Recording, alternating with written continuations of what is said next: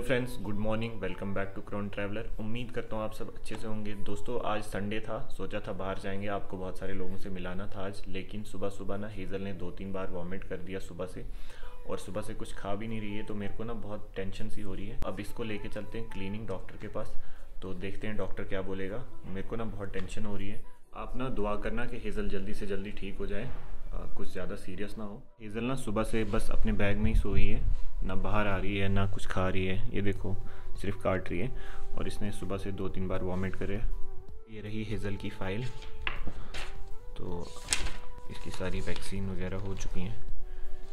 तो डिवॉर्मिंग भी पूरी है इस साल की। तो दोस्तों, अब ले चलते हैं फ़ाइल को भी। इसको डालते हैं हेज़ल के बैग में। तो चलते हैं, मिलते हैं आपसे रास्ते में। तो गई, सुबह ना मौसम बहुत ख़राब था, इस टाइम धूप निकल गई। है ये रही हेज़ल बैग में, ये रही हेज़ल की फ़ाइल अब चलते हैं, ये रहा अपना स्टैंड करते हैं स्कूटी स्टार्ट चलते हैं हेज़ल को डॉक्टर के पास लेके।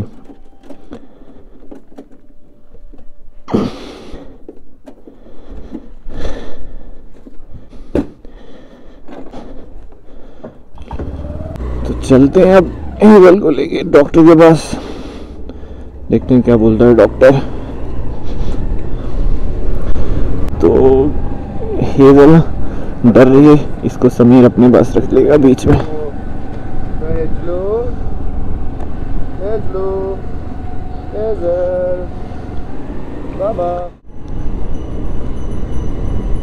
टन टन टन टन। बचपन की यादें बुढ़ी के बाल। गाइस कमेंट करके बताओ कि कौन कौन बचपन में बुढ़ी के बाल खाता था। मैं तो खाता था भाई। आप में से कौन कौन खाता था? कमेंट करके ज़रूर बताना।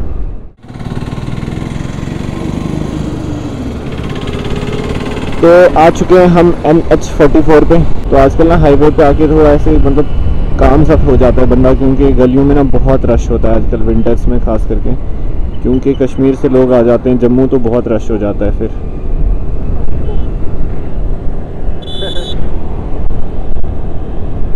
वेदर चेक करो, बहुत ही खूबसूरत है। और इतनी ठंड भी नहीं है और इतनी धूप भी नहीं है। मतलब परफेक्ट परफेक्ट वेदर है इस टाइम पे।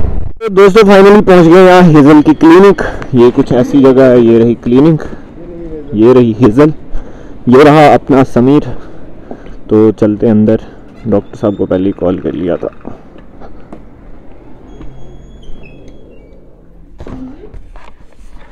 कैसे हो मैम ठीक हो? ये यहाँ की सबसे क्यूट मैम है। इसका चेकअप है और उसको नहलाना भी है। हेजल क्यों पहचाना नहीं? नहीं, नहीं। देखा कह रहे नहीं पहचाना। नहीं पहले सर को दिखा दो। अभी करते हैं हेजल का टेम्परेचर चेक और उसके बाद बॉडी वेट वहाँ पे।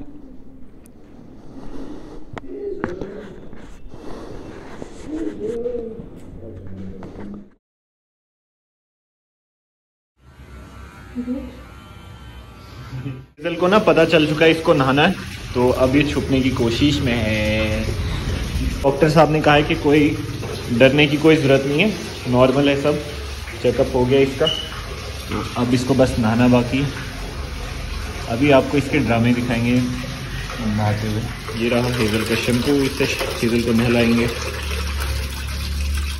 तो हेज़ल चली गई नहाने। अब देखो हेज़ल को डर लग रहा है। भैया, डालो पानी। नहीं नहीं।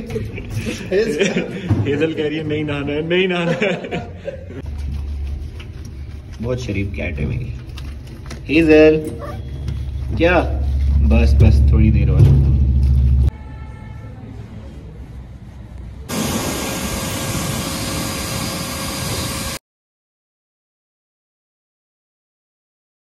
हेजल को नहा लिया है अभी कॉम कर रहे हैं भैया इसको। ओके तो हमारी हेजल वापस। तो गाइज़ फाइनली हो चुकी है हेज़ल की वॉशिंग तो हेज़ल बहुत खुश है। डॉक्टर ने कहा, कोई घबराने की ज़रूरत नहीं है इट्स नॉर्मल तो अब चलते हैं घर। वो देखो आगे क्या है दोस्तों। एलिफेंट कितना खूबसूरत है। It's so beautiful it's so beautiful हाय रो रहा है बेचारा। रो रहा है क्योंकि ये इस जगह के लिए नहीं बना है। Animal lover it really hurts please nature को छेड़ने की कोशिश मत करो। उसको उससे बाहर मत लाओ। चलो, अपनी अपनी मर्ज़ी है, हर किसी की। वी कांट डू एनीथिंग आज मैं बाहर जाना था बट हेज़ल की वजह से डिले करना पड़ा। और देखो, पहले हेज़ल फिर सब कुछ, क्योंकि मुझे बहुत ज़्यादा प्यारी है। मतलब मैं अब खुद के साथ कॉम्प्रोमाइज़ कर सकता हूँ, अपनी हेल्थ के साथ कॉम्प्रोमाइज़ कर सकता हूँ, लेकिन इसकी हेल्थ के साथ मैं कोई कॉम्प्रोमाइज़ नहीं कर सकता हूँ बिकॉज़ ये स्पीचलेस है। मतलब ये बोल नहीं पाती, ये एक्सप्रेस नहीं कर पाती है। हमें कुछ हो, हम तो बोल भी पाते हैं एक्सप्रेस भी कर पाते हैं बट ये बेज़ुबान है। तो हमें इनको समझना पड़ता है। अगर आपने रखा हुआ पेट उसको समझो, उसको अपना हंड्रेड परसेंट दो। खुद को आँच आने दो, लेकिन इनको आँच मत आने दो।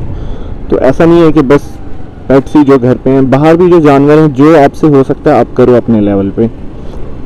यहाँ बठिंडी में ना एम बी चाय वाले का एक आउटलेट खुल रहा है। वो बताता हूँ मैं आपको कहाँ खुल रहा है। तो ये सामने खुल रहा है। ये एम बी ए चाय वाले का आउटलेट खुल रहा है। ये देखो रोड की हालत यार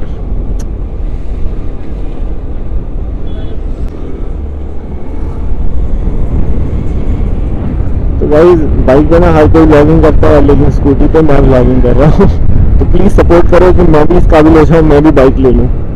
आप वन के करवा दो सपोर्ट दे दो भाई को। मैं भी एक बाइक ले आऊँगा। अपनी औकात की ले आऊँगा, लेकिन ले आऊँगा ज़रूर। तो प्लीज़ सपोर्ट चाहिए आप लोगों का। जो भी इस ब्लॉग को देख रहे हैं, जिन्होंने सब्सक्राइब नहीं किया प्लीज़ सब्सक्राइब करो। जिन्होंने किया हुआ है प्लीज़ चैनल को शेयर करो। अपने दोस्तों को, अपने फ्रेंड्स फैमिली को सबको। प्लीज़ सपोर्ट चाहिए आपका, बहुत ज़्यादा सपोर्ट की ज़रूरत है। सो so दैट मैं भी ग्रो कर पाऊँ। तो दोस्तों, घर पहुँच चुके हैं। हेजल को भी अब नींद आ रही होगी। चलते हैं अंदर। तो दोस्तों जस्ट अभी घर पहुँचा हूँ। तो अब जाके ना थोड़ा चैन आया है दिल को। जब डॉक्टर ने कहा कि सब नॉर्मल है, कोई घबराने की ज़रूरत नहीं है तो दिल को ना ऐसे चैन सा आ गया। मतलब एक सेटिस्फेक्शन मैंने सुबह से कुछ नहीं खाया है टेंशन से कि पता नहीं क्या होगा, कोई सीरियस तो नहीं होगा। तो जब डॉक्टर ने बोला कि सब नॉर्मल है तो अब जाके थोड़ा मैं रिलैक्स हो गया हूँ मतलब फ्रेश हो गया हूँ। अब आप मेरे चेहरे पे स्माइल भी देख सकते हो क्योंकि हेजल के हेजल ना मुझे बहुत ज़्यादा प्यारी है। आपको ना पता है कि बेजुबान है कुछ बोल भी नहीं सकती है। हम तो एक्सप्रेस भी कर सकते हैं अपना दर्द अपनी फीलिंग्स तो वो नहीं कर सकते। उनको समझना पड़ता है। मतलब आप अगर आपने उनको लाया हुआ है घर पे तो आपको समझना है आपकी जिम्मेवारी है। तो चलो मिलते हैं आपको एक नए मस्त व्लॉग में। जल्दी से जल्दी ना वन के करवा दो। वन के में ना कुछ स्पेशल लेके आएँगे। तो चलो फिर। मिलते हैं। Bye bye.